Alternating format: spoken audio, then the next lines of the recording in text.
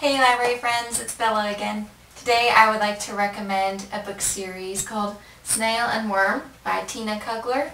You can find the series on Hoopla.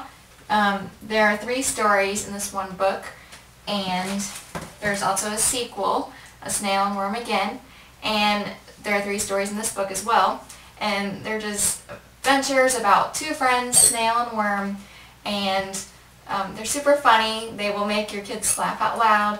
Um, and there are pictures on every page to go along with the stories, just to help keep your kids interacted.